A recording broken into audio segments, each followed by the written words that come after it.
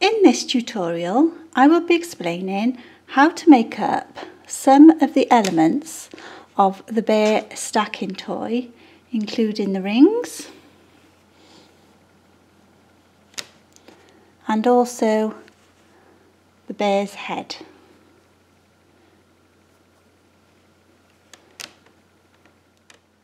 So here we have a piece of knitting for the first ring of the stacking toy and when making up the rings I would suggest sewing the side seams first.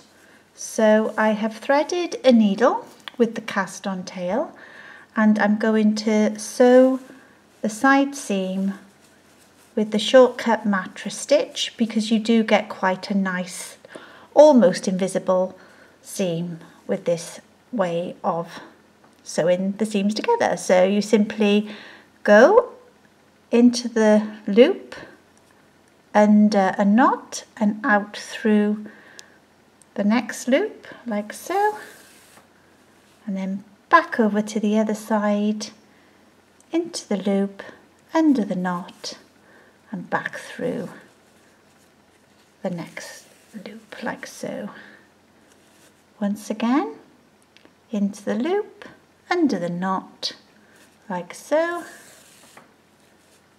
and back over to the other loop, under the knot, and out through the other side. And I do have a more detailed tutorial on this way of steaming. So, and then you simply just pull the yarn to tighten. I have sewed the side seam and as you can see with the shortcut mattress stitch you do get quite a nice neat almost invisible seam. We now need to sew the cast on edge and the cast off edges together. For the bottom ring there were 62 cast on stitches and there were 62 cast off stitches. So the number of stitches should obviously match. So I have once again threaded a needle and this time I'm using the cast off tail yarn. And to get a nice knit finish this is how I like to sew the two edges together. So first of all I go into this stitch here, picking up two legs of the stitch like so. And I thread my needle through the two legs of the first stitch. Then I go to the other side, which would be the cast off side, and I would just pick up two legs of a stitch on this side, like so once again thread my needle through these two legs of the stitches of the stitch and pull the yarn. Then I go back to the other side and as you can see I then move along to the next stitch and pick up two legs of that stitch like so. Once again pull in the yarn. And back over to the other side. And this would be the next two legs that I would need to pick up.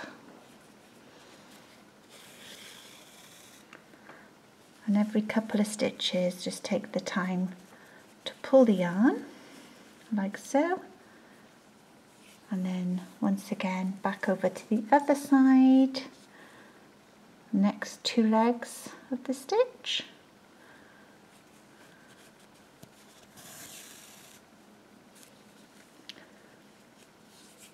And as you can see, we're at this point here, so it would be this stitch that I would need to thread my needle through, like so. Once again, pulling the yarn quite tightly.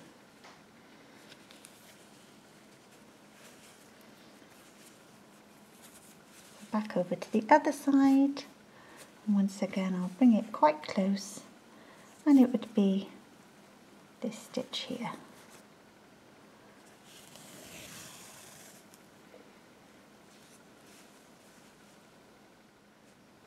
I have now sewn the first 10 or so stitches and I would recommend stuffing the ring as you sew.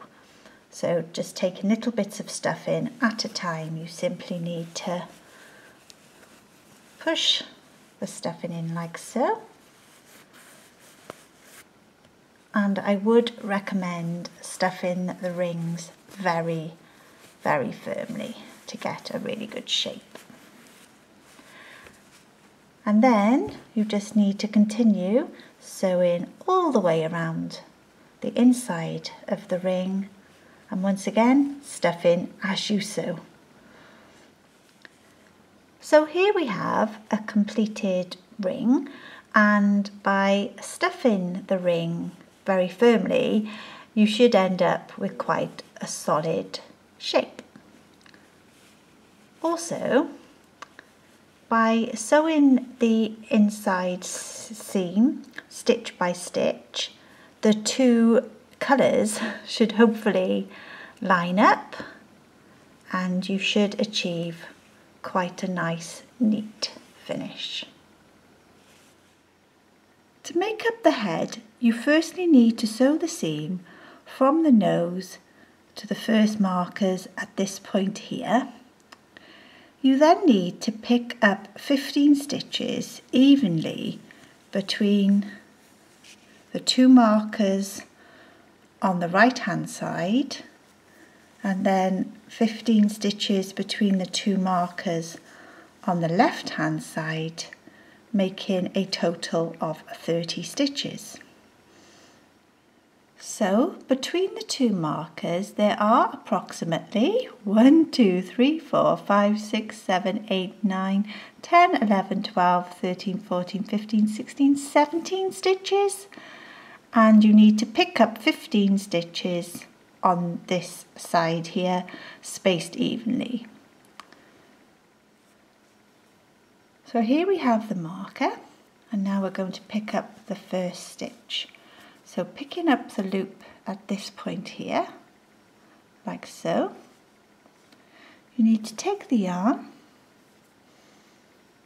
and bring the yarn through the stitch to make a stitch on the right hand needle, like so.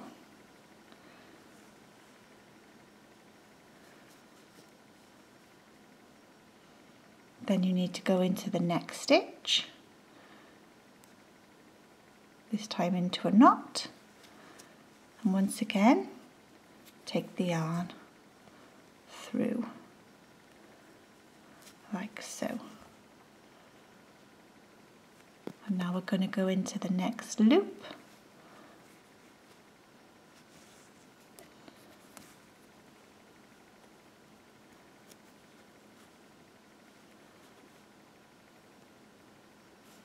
And into the next stitch, into the next knot.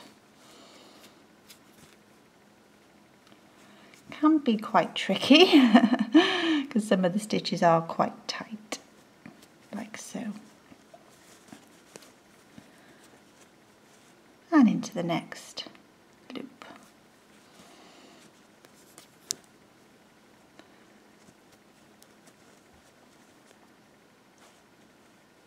As we have 17 stitches to work with and I only need to pick up 15, I'm going to miss the next knot like so.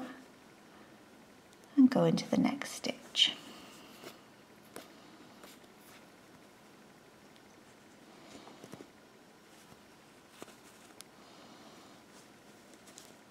I have picked up 15 stitches between the two markers and at this point you can simply remove the markers.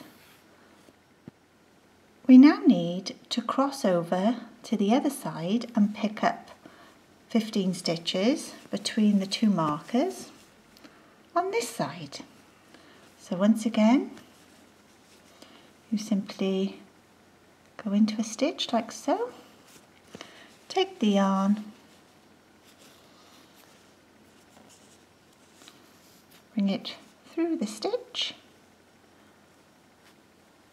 to make a stitch on the right hand needle and I would suggest pulling the yarn very tightly at this point to join the two sides together and then working along the edge like so you need to continue to pick up another 14 stitches. I have picked up 15 stitches between the two markers. So we can now remove these markers like so. Making a total of 30 stitches. And now we need to stocking stitch 15 rows beginning with a purl row. I have completed the knitting and added the toy safety eyes and now we need to join this seam.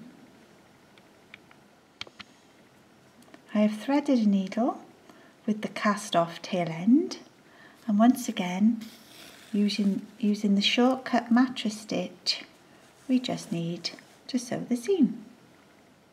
I have sewn the seam and I've added stuff in to the front section of the head and now at this point we need to push this part inside the head like so to create an opening and then we need to continue stuffing the head quite firmly um, with this hole in place.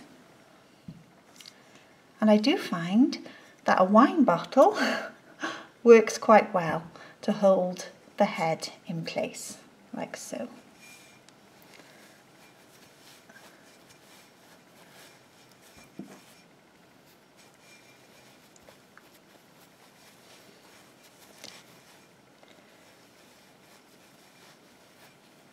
So you simply need to stuff around the opening.